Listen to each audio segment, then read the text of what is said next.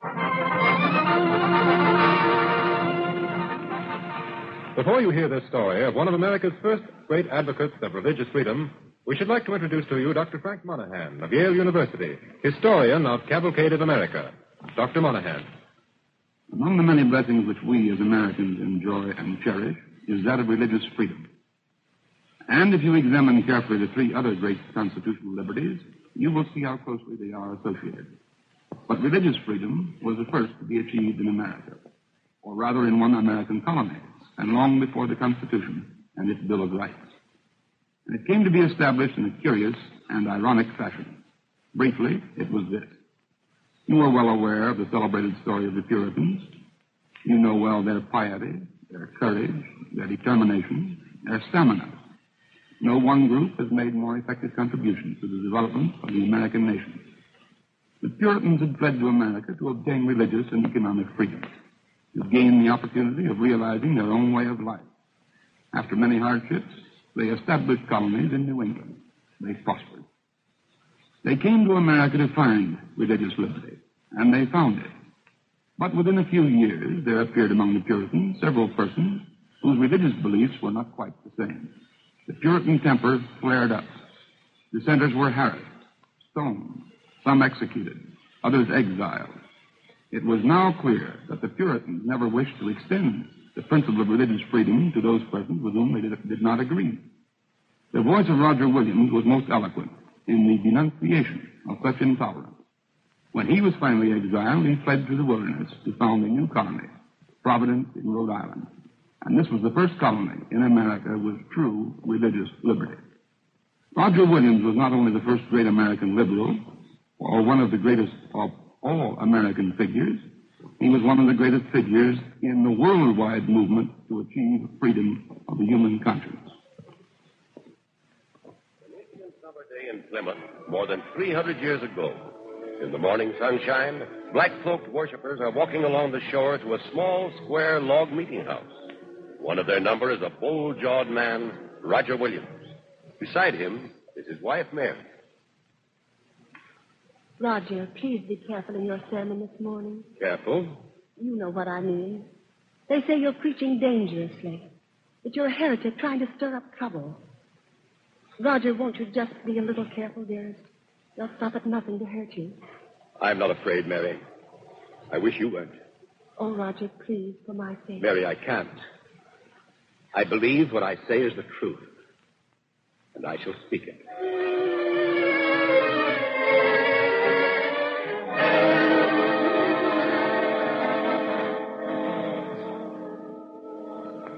We know that the nine rulers of this colony are ministers of the established religion in Massachusetts Bay.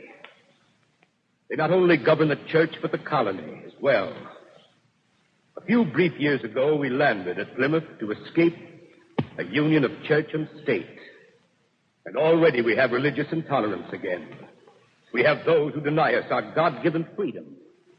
We must worship God their way, not according to the dictates of our own consciences. Brethren, this religious tyranny must come to an end. God must be worshipped by each man according to his will. We must no longer submit to a civil and ecclesiastical authority joined in the diabolical suppression of man's free conscience. Intolerance is not the mark of a true believer in Christ our Lord. Tolerance and freedom must be the sentinels of this or any Christian.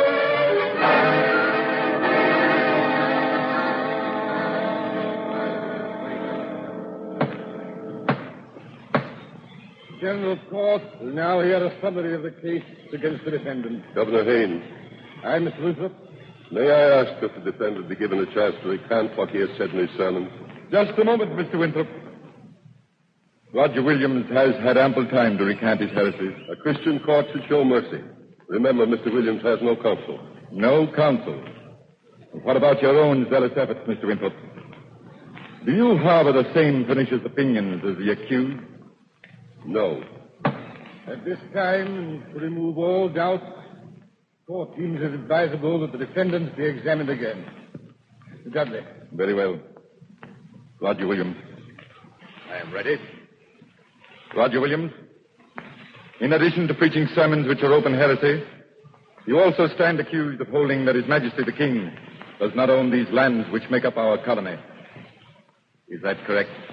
I hold this land belongs to those who first possessed it. I mean the Indians. I say this in the name of justice. No one has a right to take land away from the Indians, least of all a Christian monarch. Why do you say a Christian monarch? His Christianity should prevent him from taking what is not his. But no monarch would have the right any more than an Indian sachem sailing up the Thames to claim London. Roger Williams, do you persist in denying our authority? Yes, I do. You restrict a man's right to believe what he chooses. You do this both in civil and religious matters. You accuse me. I accuse you. You forbid freedom of conscience. You force your religion on the souls of free people. Yours is of vicious authority. Brethren, this heretic would destroy the Massachusetts Bay Colony. I'm not going to destroy this colony. You are. All of you. That's enough. It is not enough. We came to America for freedom, to escape intolerance. We should have complete freedom here. According to the Word of God, we ought to permit Jews or Turks or anti-Christians to live among us. It is not heresy, it's tolerance. It's the basis of all human civilization. Very well, Roger Williams. Further talk is useless. You've heard your opinions. Will you change them? I cannot. Roger Williams has broached and divulged divers new dangerous opinions contrary to our authority. We sentence you, Roger Williams, to banishment from this colony within six weeks. Court is adjourned. Roger. Oh, Roger. Yes, John. I'm sorry. Is there anything I can do? John Winthrop, you've been my friend. I want to thank you for all you've done. I seem to have little influence anymore. You hadn't been so stubborn. Sometimes I wonder, Roger, why you came to this colony. Because, like you, I believe in freedom. Freedom of opinion. Freedom of conscience. Freedom of worship. We haven't got it here, John. But we'll have it yet. We've got to have it. Because where there is intolerance, there can be no freedom.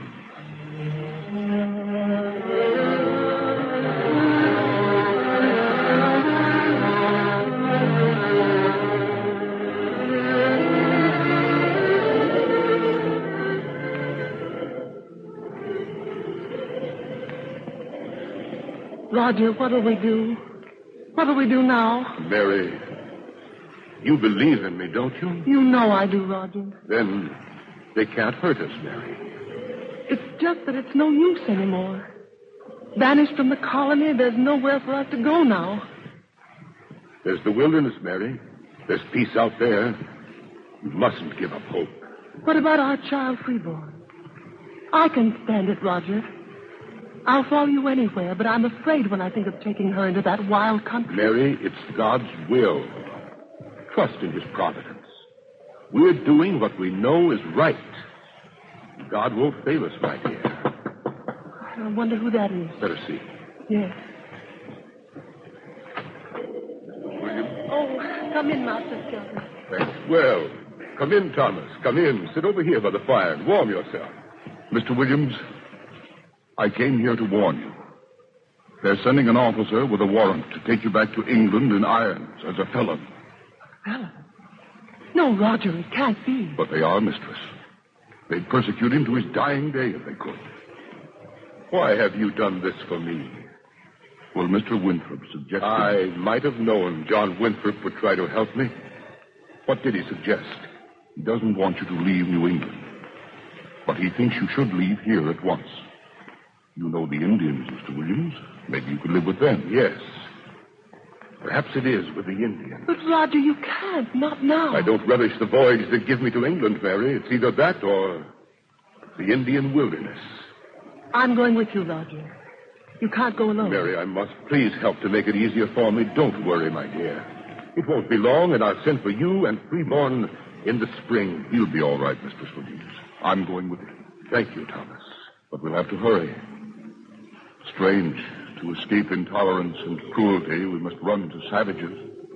Goodbye, Mary. And don't forget, trust in God's providence.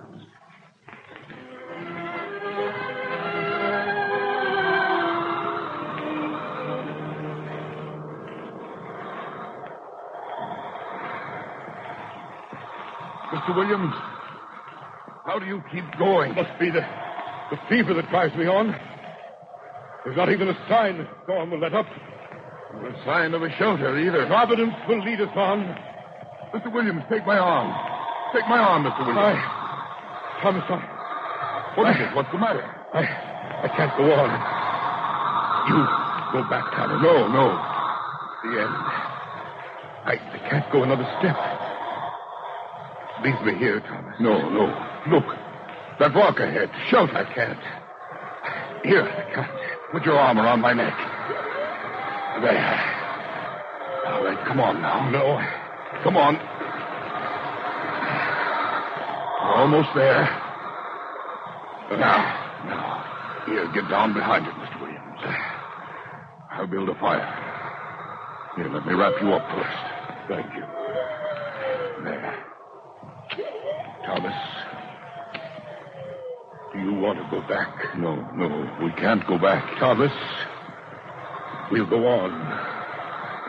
We'll go on. Until we find the place we need. We'll find it. God's providence will take us there. And we'll call that place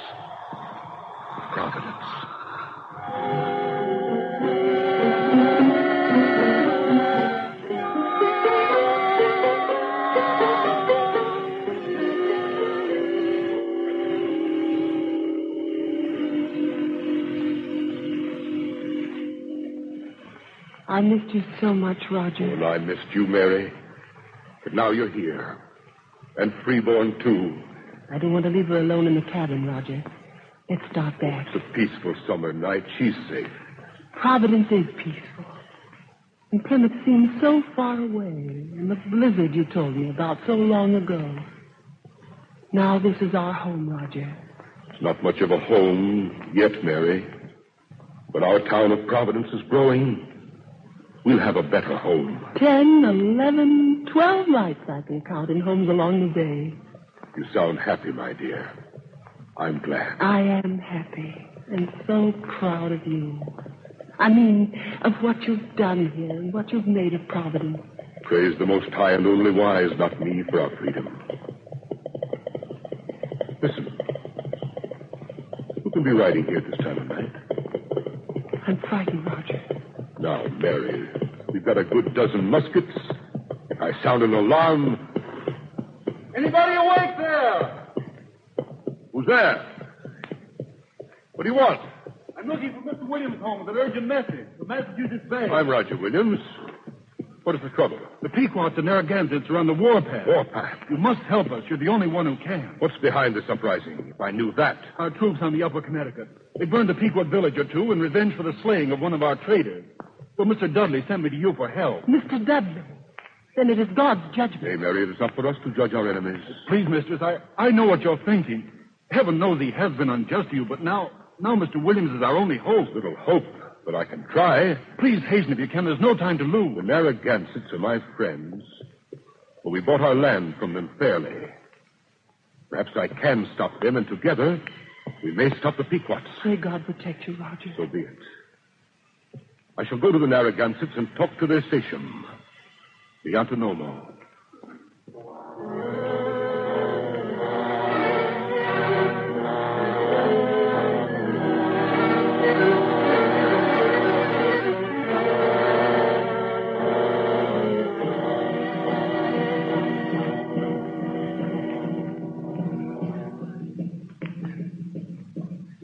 The Antonomo.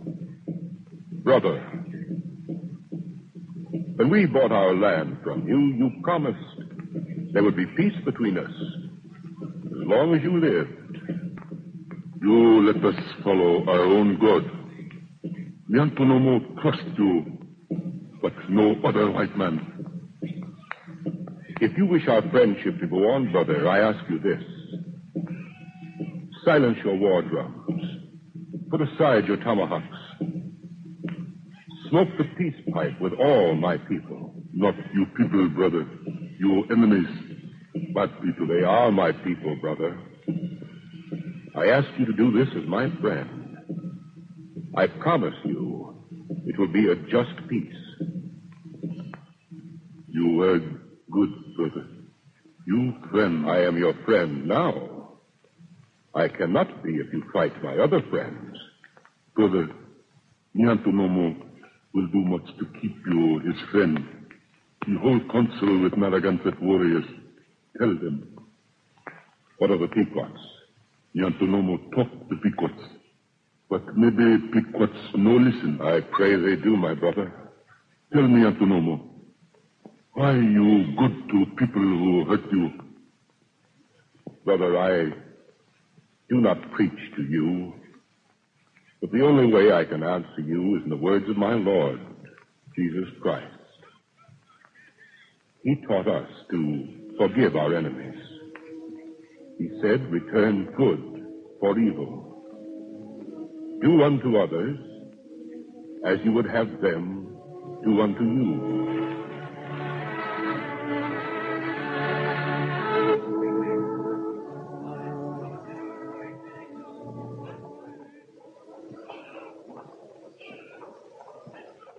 Think you'd better come at once, Mr. Williams. They may harm this woman. What do they want to do? They're trying to drive her out of town. Well, there they are now in front of Gorton. Aye, and now I see the poor woman over there. Let's hurry. Nay, even my enemies in Massachusetts gave me a hearing before they banished me. This doesn't demand a hearing. We know of you, Mistress Ann Hutchinson.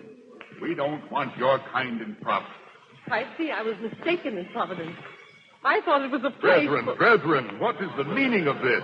We make it plain to this woman she is not welcome. But she is welcome, my good man. Any man or woman who has suffered for conscience's sake is welcome here. I thank you, Mr. Williams, for your kind words.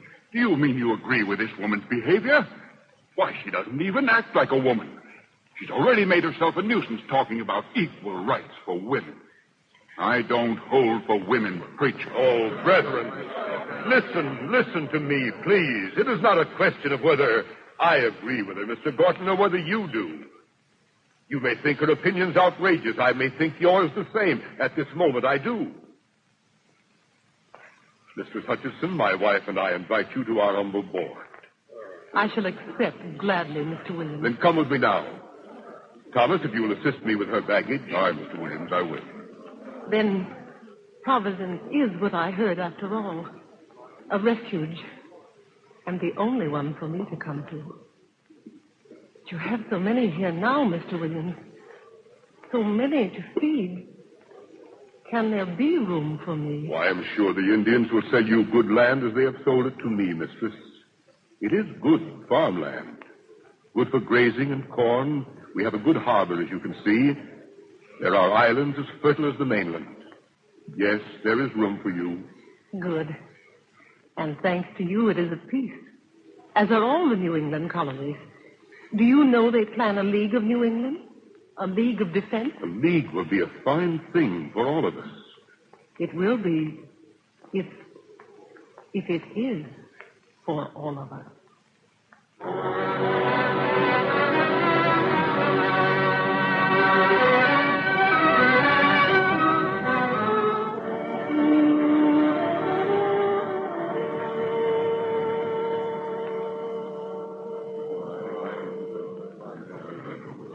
Brethren, let us uh, review our situation.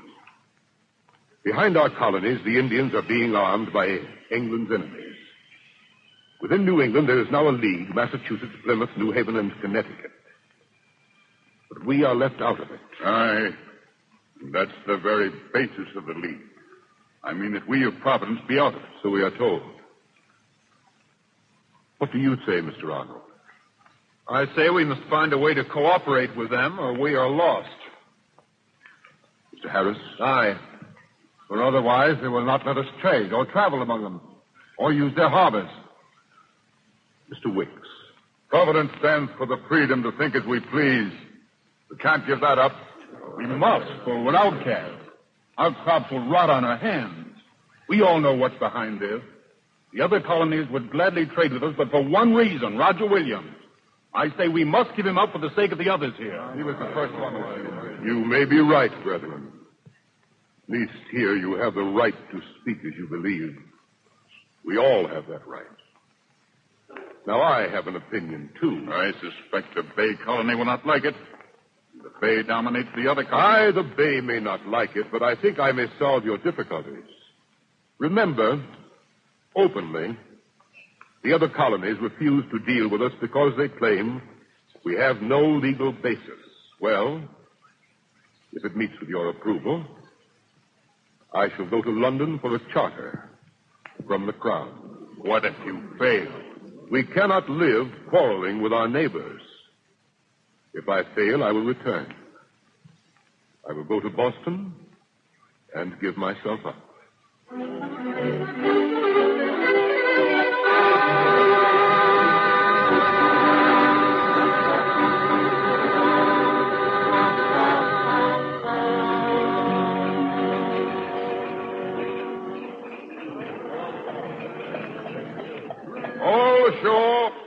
Goodbye, Captain.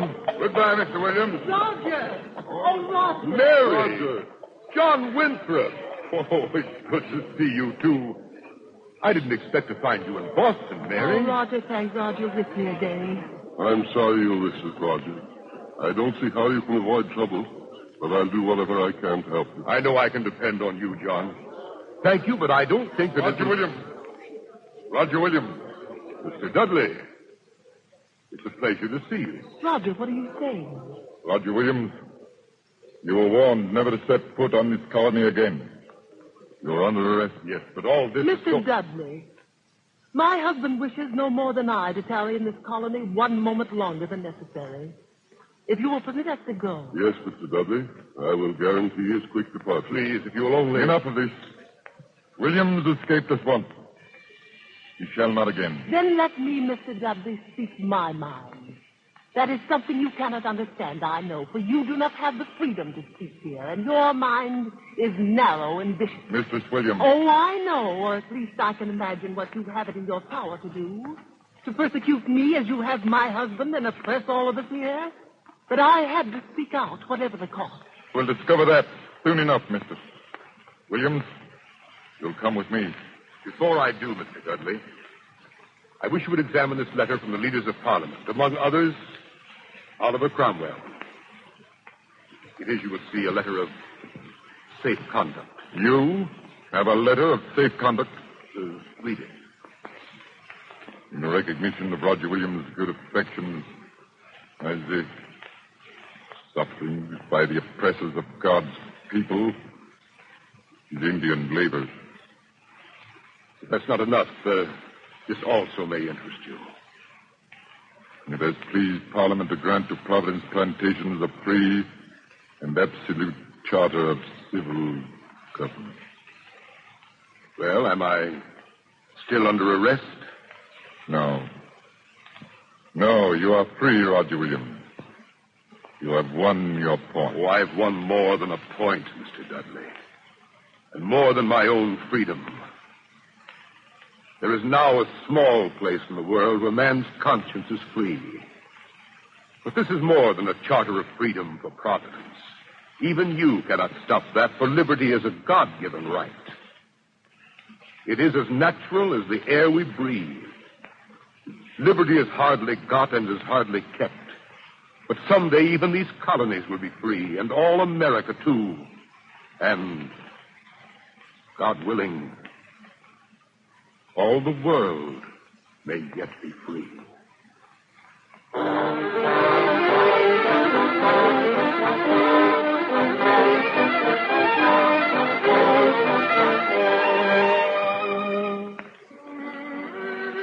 The years pass, and finally there came to all of America liberty of conscience, establishing those very truths which brought about the banishment of Roger Williams in 1635. It was a victory of complete religious freedom, the freedom of Roger Williams' Providence experiment. This religious freedom found fullest expression in the Constitution of the United States, which declares Congress shall make no law respecting an establishment of religion or prohibiting the free exercise thereof. Today, this is one of America's proudest heritages, and it is for this that Roger Williams takes his place in the cavalcade of America.